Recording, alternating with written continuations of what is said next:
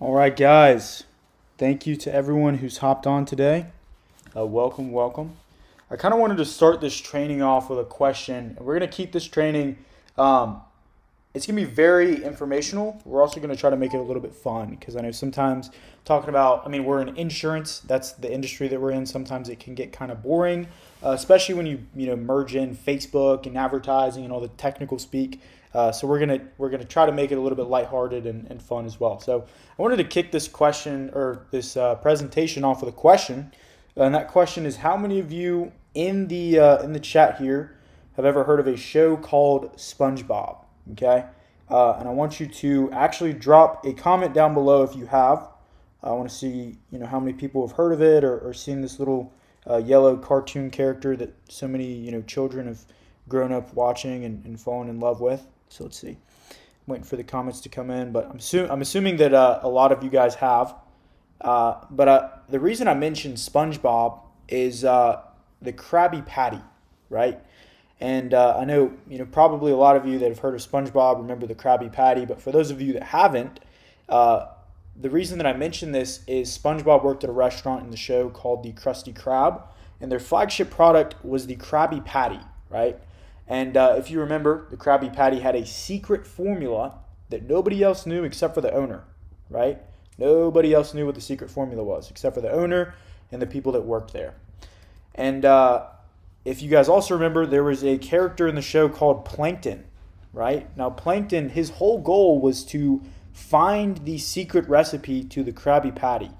And Plankton would go to, you know, all lengths, no holds barred, anything and everything to figure out the secret because he knew that once he found the secret formula to the Krabby Patty, prank, uh, Plankton could practically print money, right? Because everyone, everybody loved the Krabby Patty, right? And so, you know, to touch back on what Julian was talking about, we kind of like to joke that our competitors are like uh, Plankton. They're, you know, making fake profiles to join our Facebook group and buy our course under pseudonyms and, you know, whatever, block us on social media you know, it is what it is. No hard feelings. We totally get it, but uh, kind of just like a little joke that we like to have, uh, you know, amongst ourselves. But the thing is, every good recipe has a secret formula. I see Bessie has heard of SpongeBob. That's great. Shannon. So has Shannon. Awesome, awesome. You guys are definitely in the loop, so that's good to hear. Uh, but today, we are actually going to reveal our secret formula, our secret recipe for creating a killer marketing campaign on Facebook thank you, Simon. We really appreciate it. Uh, and thank you for hopping on here, you know, every single week and, and staying engaged with the group. But today we're, we are going to reveal our secret formula to you guys. So I'd like to welcome everybody that is in the uh, or on the Facebook Live uh, and everyone that's watching this on YouTube at a later date. Welcome to my kitchen. Okay, we're going to start off just with some basic kitchen rules. You know, we don't want a, a madhouse in here. We didn't, you know, we weren't raised in a barn uh, we have to have some basic rules in the kitchen. We have to have some etiquette, right? So there's four tenets to uh, to our kitchen and four tenets to uh, you know what we're going to do with within the uh, within this live training. Um, and this is kind of it relates back to Facebook ads, and, and I'll explain all of these uh, all these little metaphors here. So the first one is a, a good chef always keeps a clean kitchen. Okay, you need to stay organized. Uh, it's very important that you are able to organize everything within your campaign, right? You need to have your ads in one place. You need to have a structure to your campaign. Uh, and that looks like campaign, ad sets, and ads.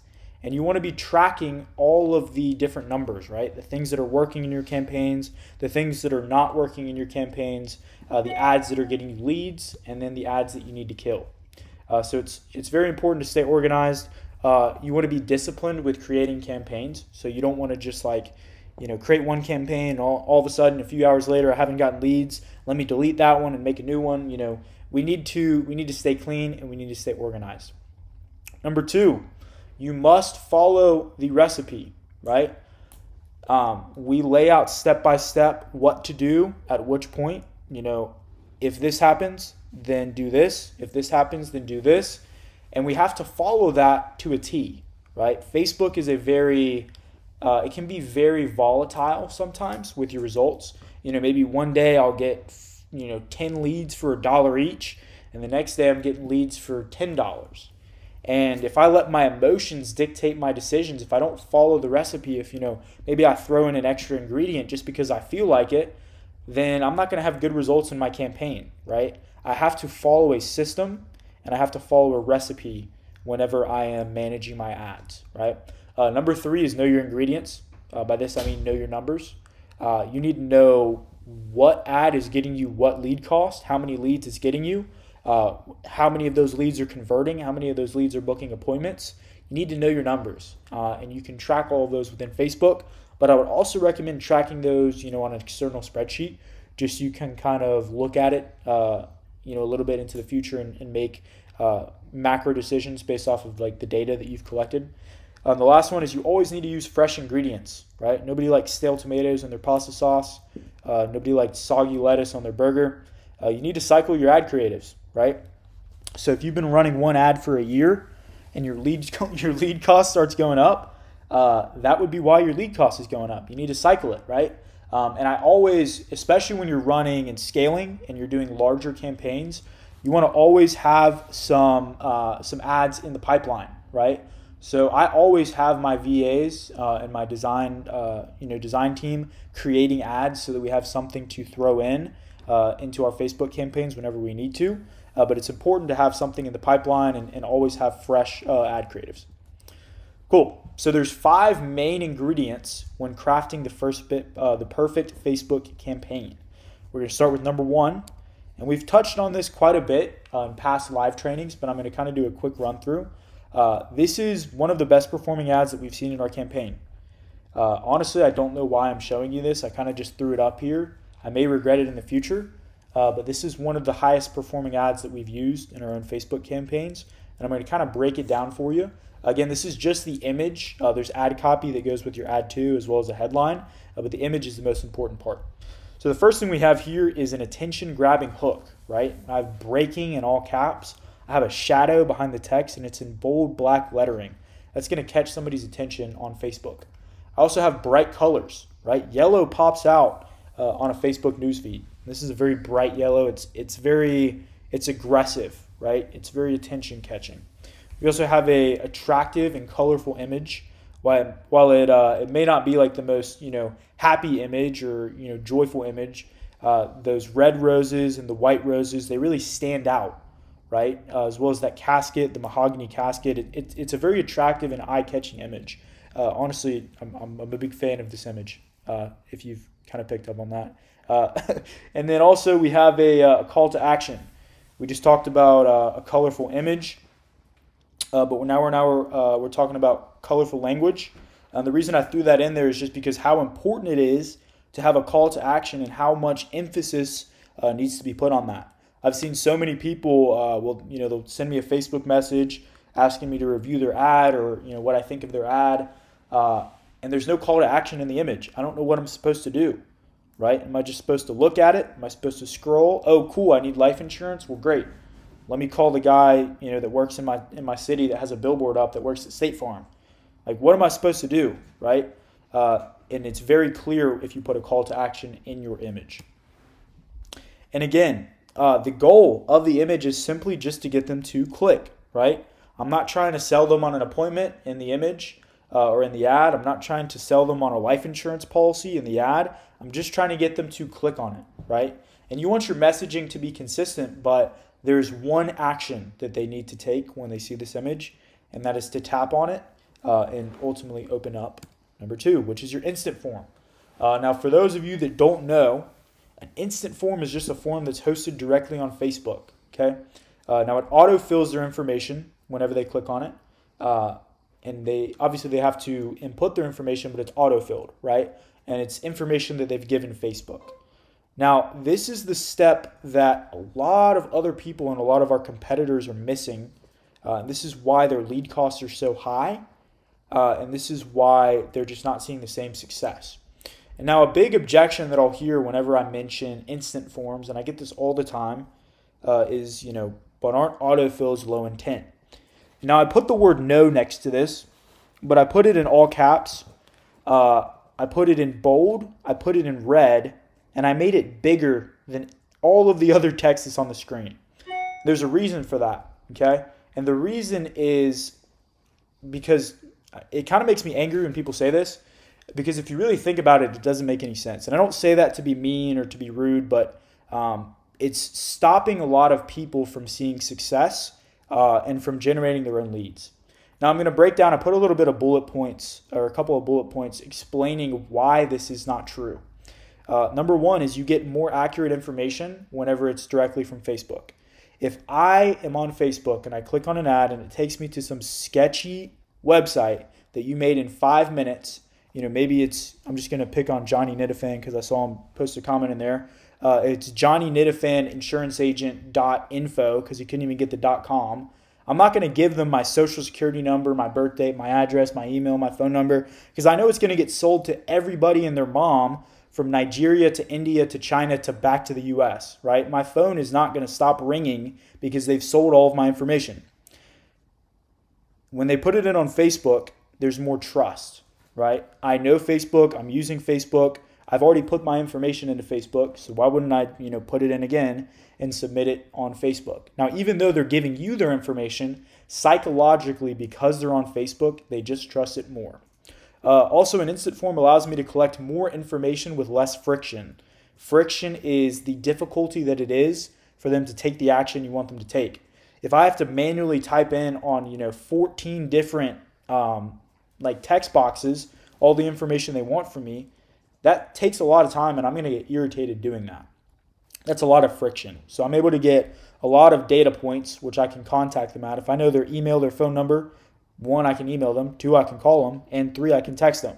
If I have their address, I can even send them direct mail if I want. Or I can show up at their house if you're doing face to face. Or, you know, if you're doing telesales and you just want to do a cross country road trip and hit all of your leads, which I would not recommend, but you could do. Um, also, people are just lazy, right? They don't want to type in all of their information. And I'm guilty of this. There's times where I've wanted a car insurance quote and I've gone to a website and they ask me all of these different points of information and they make me manually type it in. And I, it almost feels like they're doing it to annoy me, right? Like they're they're just making it difficult on purpose. And this this comes back to the friction point. Uh, people just don't want to type, right? They're lazy. They want to click and they want to be done with it. And that's what an instant form allows you to do. And a great example of this is how many I mean, okay, so yeah, I want you guys to type in the chat. How many of you have ever bought something on Amazon?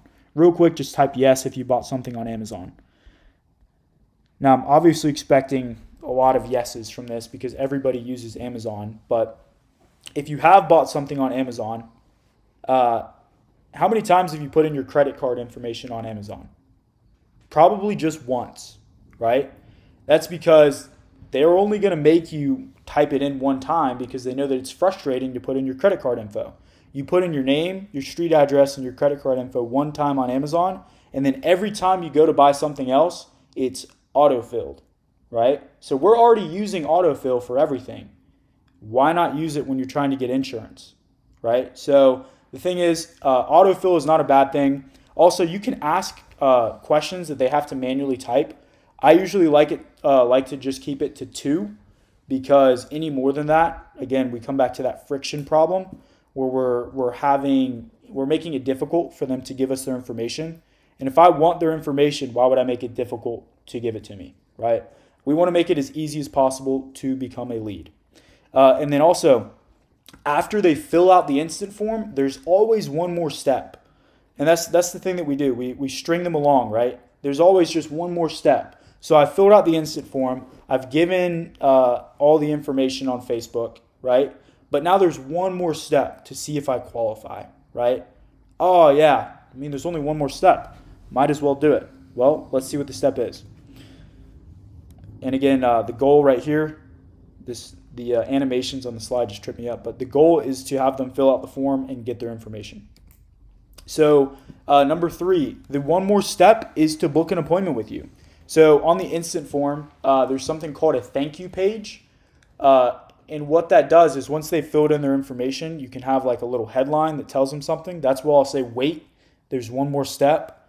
And then in the text below that, I'll say, hey, all you need to do to see if you qualify for this program is to click the link down below, click the button that says see if I qualify, and book an appointment with input your name I saw Trevor uh, in the chat, so I'll just I'll use Trevor as, as an example. Uh, so book a call with Trevor to see if you qualify. Now they're gonna click on the link that says see if I qualify, and that's gonna take them to the calendar landing page, right? Uh, and a lot of times people will get tripped up on this because they want to skip the instant form. And I would compare this to asking a girl to marry you on the first date, right? They don't know who you are. Um, they don't want to put their information and they don't want to book an appointment with you on a page if they haven't made a micro commitment. And the instant form is the micro commitment that they're making. If they've already given me their information, and again, it's easier for them to give it to me because it's autofilled and it's on Facebook.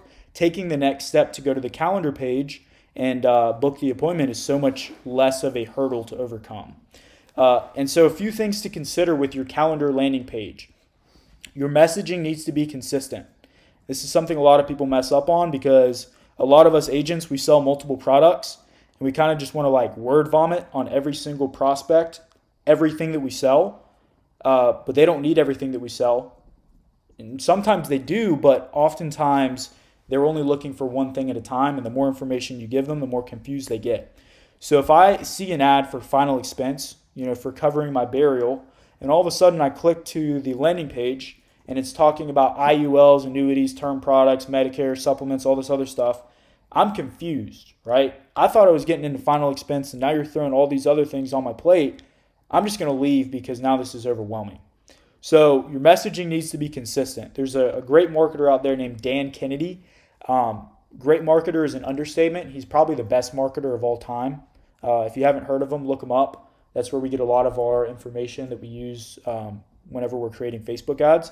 Uh, it's, it's timeless information, Dan Kennedy stuff is. But one of the things that he says is you need to have one funnel for each product you sell. So if I sell term, I sell final expense, and I sell Medicare, that's a separate ad, a separate calendar page, and a separate funnel for each of those different products because it needs to be consistent. Um, an example that Dan Kennedy uses is orthodontists.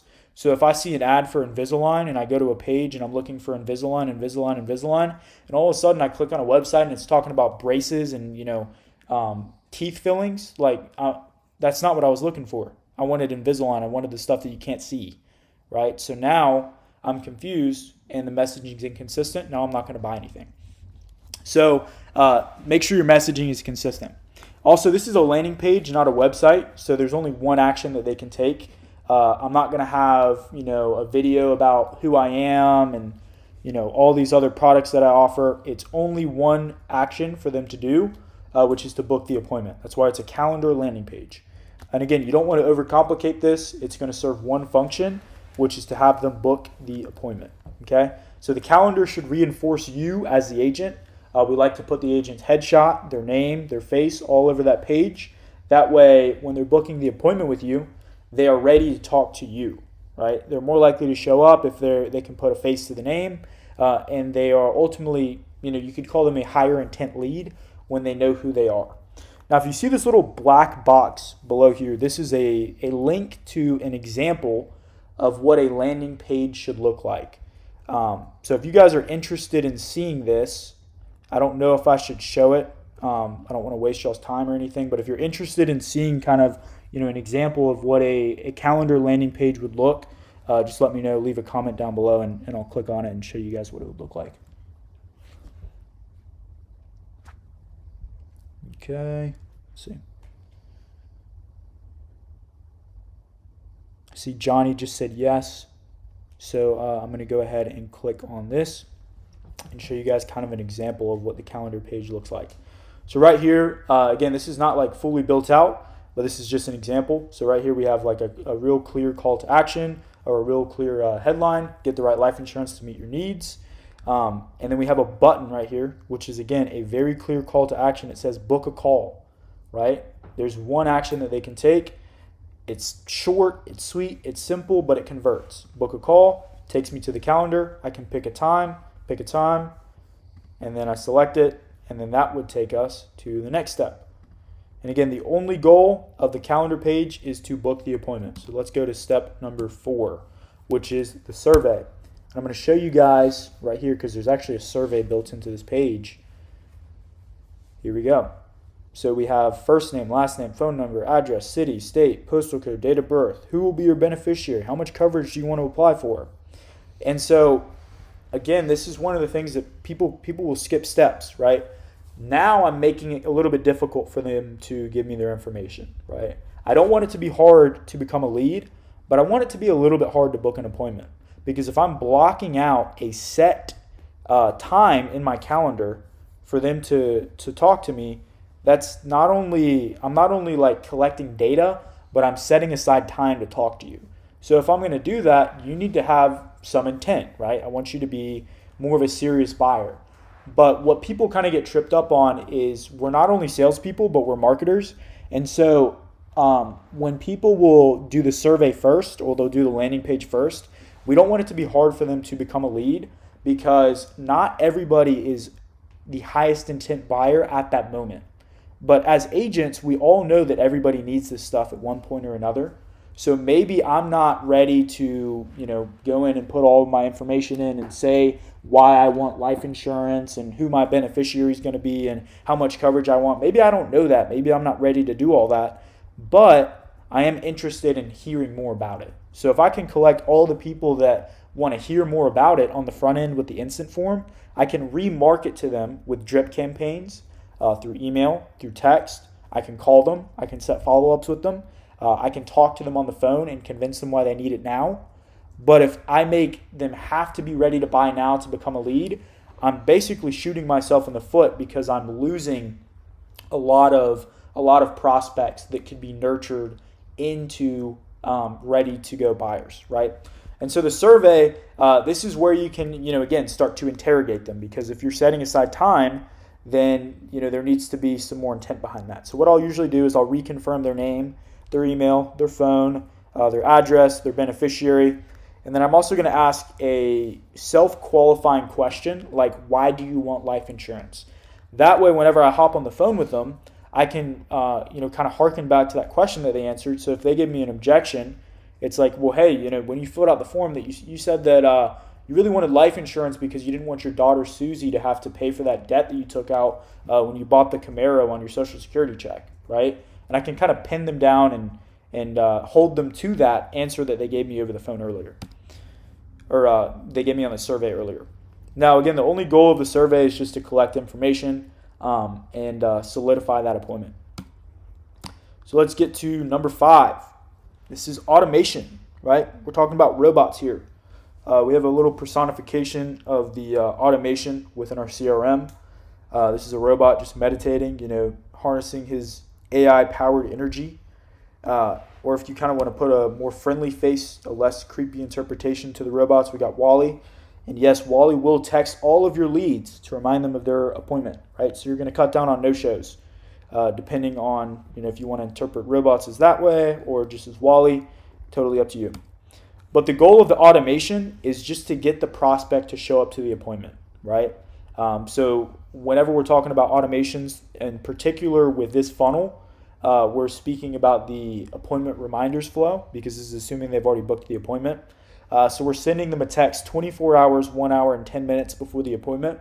That way there's no way they could forget it. We're also texting them a photo of your insurance license so they know you're not, you know, lying to them or you're not some, you know, scammer or whatever.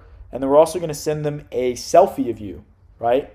Because it's one thing to no show a faceless Joe Schmo, but it's another thing to no show some, you know, really nice guy that's texting you, sending you a picture of his license and sending you a picture of himself, right?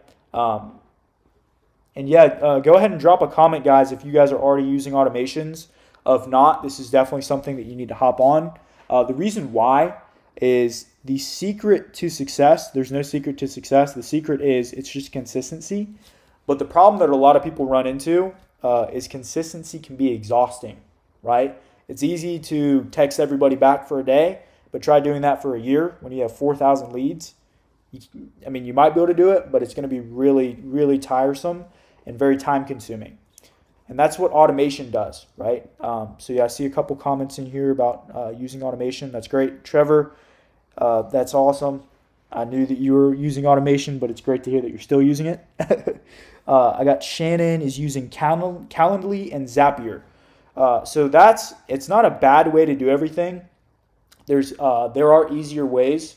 Um, I'm assuming if you're using Zapier, you're probably using a Google spreadsheet. That's where it gets a little bit tricky because organizing leads can get tough when you're using a spreadsheet. Um, you're not able to move them across different stages in a pipeline, uh, which is very helpful for organizing.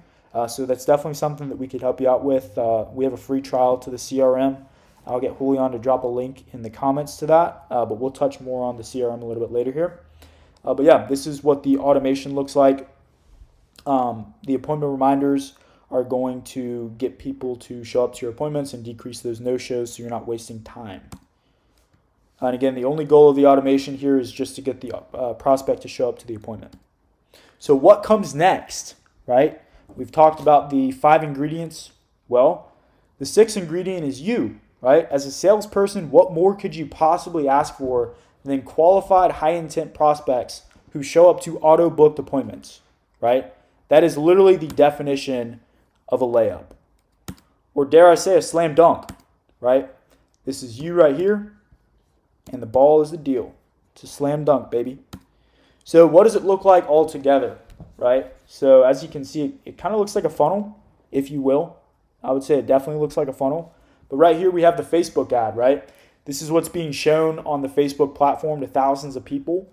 Um, if you scale it up, thousands of people a day, uh, maybe tens of thousands if you're you know really ramping your ads up, which is great. At that point, you're probably going to want to build out an agency. Um, from the Facebook ad, we go down to the instant form. That's where we're collecting everybody's information. Um, some of them will click through the landing page, some of them won't. And if they don't, I still have their information and I can call them, uh, I can text them, I can email them, and I can you know get them on the phone. Uh, after the, the instant form, they're going to go to the landing page to uh, see if they qualify. Um, some of those people are going to fill out the survey and become an appointment. And then some of those people are actually going to show up to the appointment and turn into sales. As you see, we have the dollar signs coming out of the funnel. Now, I have all these numbers next to it. Um, we're going to touch back on knowing your ingredients or knowing your numbers. Uh, with the Facebook ad, you'll typically see about a 5% click rate if your ad is uh, made correctly. That's what we've seen pretty standardly across multiple campaigns is a 5% click rate of those people that click on your ad, about two and a half percent of, or about half of them, so two and a half percent is half of five percent. About half of them will actually fill out the form and become a lead. And when they fill out the instant form, uh, they're added into my CRM. So if they don't go to the landing page, they're getting an auto booking text, right? And that is going to text them different times that are available on my calendar. Um, it's going to, you know, confirm back and forth with them. It basically sounds like they're talking to you except um, as if you were uh, a robot that's texting them and you don't have to do anything, right? So it's confirming appointment times. Um, a percentage of those people, uh, again, like a lot of people are going to fill out your form, but they won't click through to your landing page, and that's completely fine. Uh, that's where a lot of your sales will be made, is from people that don't auto book an appointment. But if they do click through, which we've seen about half of the people uh, that fill out the form will click through to the page, and then about 30%, 25 to 30% will become an auto book, right? So about one in four to one in three will auto book appointments. Again, this depends on the campaign, uh, but from ones that we've run, uh, even on nationwide campaigns, we've seen about 25 to 30 uh, percent booking rate. And you know, just by the nature of the insurance business, you'll get about a 50% show rate. Uh, that's on triple dialing. If you dial six times back to back, that number would probably go up, but we don't dial six times, we dial three times. So we've seen about a 50% show rate. And again, depending on how many, you know, how good of a salesperson you are and how many of those people you close, uh, you will, you know, close a percentage of those people that show up to your appointments. But I want to touch back on people that fill out your instant form but don't go to the landing page, uh, because this is like this is the the largest bucket of prospects uh, that you will have in your CRM, right? Uh, and this is where the automations really become powerful because you get the auto books uh, and then you'll call through those leads yourself, right? There's still some active work that comes into this. Uh, but whenever these people fill out the form, if they don't book, they're added into a new lead tab, right? So what we'll do is we'll call those three people three times back to back, and then we'll move them over to uh, a tab that says that we've called them three times. And we're working through all of the leads as they come in. And ultimately, our goal is to call them either 15 times and they never answer or never respond, Uh, or, you know, obviously we get them on the phone, we're able to set an appointment, or able to uh, close them on a policy. Now, if we've called them 15 times in a row and we still haven't been able to get everything or, you know, uh, get an answer, we drag them into a column called unresponsive lead. Um, what that does is it will shoot them a text. It'll be like, hey, uh, you know, Julian, I was just checking. You had filled out a form on Facebook about the final expense program or about the life insurance. Uh, I hadn't been able to contact you. I'd called you, you know, a few times and just haven't been able to get a hold of you. Is this something that you're still serious about? Because uh, otherwise, I'm gonna have to close your file and take you off the list, right? And this is all automated. You're not doing any of this. And then if they say, yeah, you know, I'm not serious about this, cool. We're, we're not gonna waste any more time. We're not gonna waste any more texts or emails on this person, and it's gonna close out their file. Now, uh, it'll close out their file and take them off of your opportunity tab but they'll still be on your email list. So one of the automations we have is it sends them an email a week for a year. So 52 emails um, across, you know, one a week for a year. So if at any time they change their mind or they're like, oh shoot, hey, I need life insurance. Um, hey, I need life insurance. Uh, you're going to be the first person that they think of, right? And so they can click and book an appointment with you, and then they're thrown right back into your system. Uh, so that is uh, what the CRM does and the automations will do to book the appointments. And so if they fall out at any point, we got this little stick figure falling out of our funnel. Uh, we have those automations that will, uh, will, that will put them back on track. So as we can see, now our stick figure is back on the funnel. So we've covered, you know, we've covered quite a lot in this training. Um, it's kind of like drinking water from a fire hose here. Uh, but I want to give you guys an option because there's a lot of people that will take this information and for one reason or another they won't take action. Maybe it's because it's overwhelming, it's a lot to do. Maybe they don't have time. Uh, maybe you know there's a whole whole number of factors that could be why you wouldn't uh, go ahead and set this up for yourself. Uh, which is why we offer a done for you option, right? Uh, sometimes you just want to take the guesswork out of it and have the experts do it, which is totally fine. We get it. Uh, we've been doing this for a while, uh, and you know we're pretty good at it. I don't want to you know toot my own horn, but uh, we're you know where we are for a reason with with Facebook ads. Um, but we can set the entire thing that we just described for you.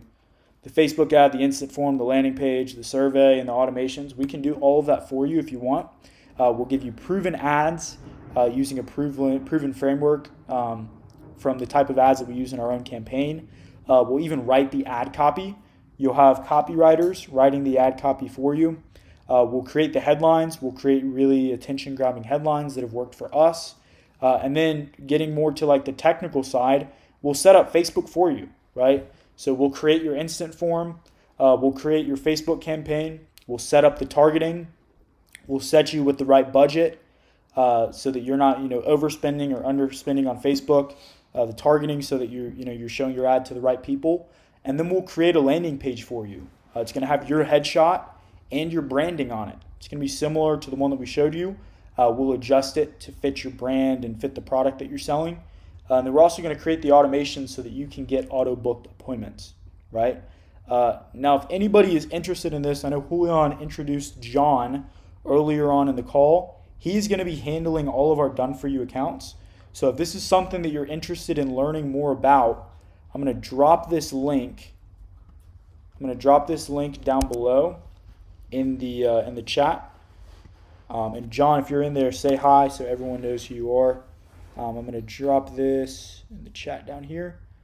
But yeah, this will be to uh, book an appointment with John. Uh, he'll answer any questions that you guys have about you know how the done for you works or pricing or anything like that. Um, I'm not going to mention pricing on the call uh, just because I'm planning on posting this on YouTube.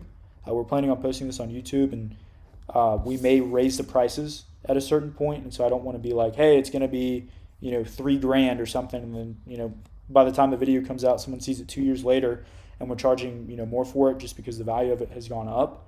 Um, but we are running a promotion right now. It's $500 off the normal price.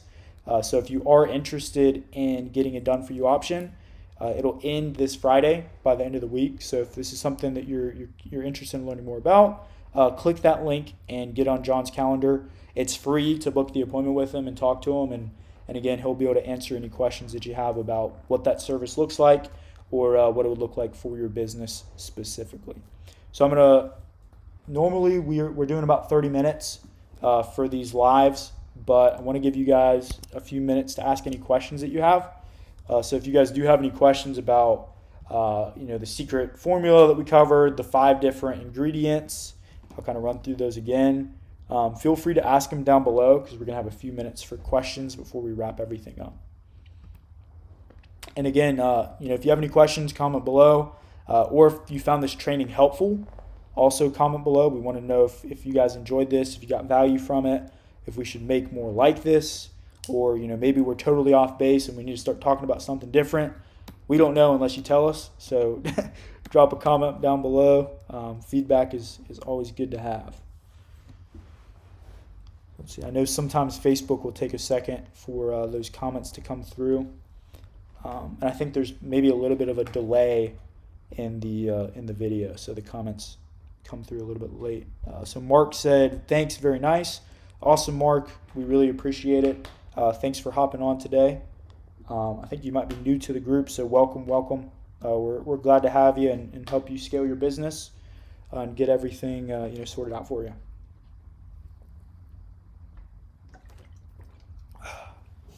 So I got Mark said it was helpful.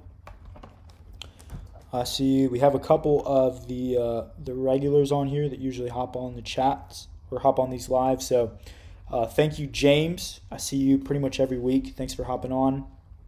Um, Simon is always on. Um, let's see. Thank you, thank you, Johnny, for hopping on. We'll see you later tonight. Look forward to helping you scale your campaign up. Thanks, Trevor, dude. You're uh, you are very much appreciated.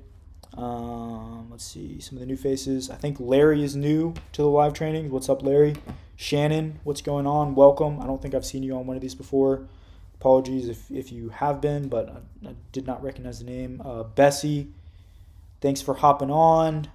Let's see. Anybody else? Jessica, uh, I actually just approved you onto the group and you hopped onto the first Facebook Live training, so you are in the right direction welcome, welcome. We're excited to have you and excited to help you scale up your business. Um, let's see, that looks like just about everyone that I'm seeing here. Mark says he spoke to John today. He was very helpful. Dude, that's good to hear. I'm glad that we don't have to fire him because uh, he was hard to find. Cool. Well, it doesn't look like we have uh, too many questions here. Uh, thank you guys for hopping on. Um, it seems like this training was helpful. If you guys have anything else that you want to see from us in the next one, uh, we've kind of just been like uh, brainstorming these ideas and coming up with them on the fly. But if you guys have ideas that you want us to talk about in the next training, uh, you can either drop them in the live chat right now uh, or you can drop them in the Facebook group. Just be like, hey, you know, I have an idea of something I would like to see on the next Facebook Live. It's blank, blank, blank. And uh, we will uh, we will definitely implement that as long as it's feasible and it's not something ridiculous. Um, but yeah, thank you guys to everyone uh, who hopped on. I'm going to go ahead and end this live training. But again, I'm glad this was helpful. And uh, if any of you guys want to learn more about a done for you setup, I will paste that link in the group so that you guys can click on it if you missed it. You know, maybe the comments went by too fast and you weren't able to click on that link. Uh, we're going to drop it in the Facebook group as well so that you guys can uh, set up a call with John. Uh, clearly, he's helpful because Mark said so. So, uh, yeah, let's see. Simon said, spoke with John this morning, was wondering when you're going to start creating something with IULs and FIAs. Uh, so that's a good question. We, uh, we actually are doing an annuity funnel for one guy. Um, it's not something that we're like crazy experienced in yet, so I don't want to like offer it on mass yet. Um, we like to only put out things that we know that we can do well.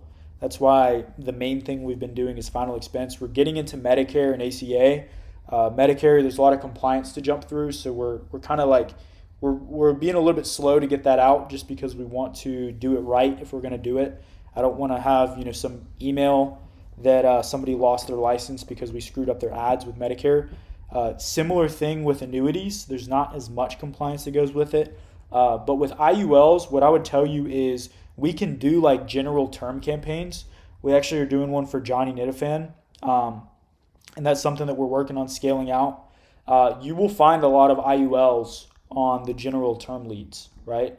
And so, like with IULs, uh, I'll give you just like you know a little a little value nugget right here. If you wanted to do IULs, um, that works best with like videos. So if you're doing like a kind of a video talking about what the product is and like selling them on infinite baking, uh, banking, not baking.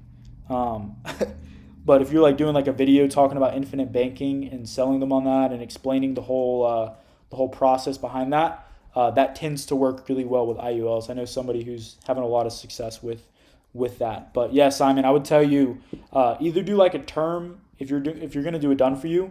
I would either do a term or a final expense, and then you're gonna find IULs and FIAs off of that. But leading with IULs and FIAs, uh, it can work, but you're gonna get a lot more leads uh, for a much lower cost with just like a a term campaign or a final expense campaign and then going for the cross sells from that.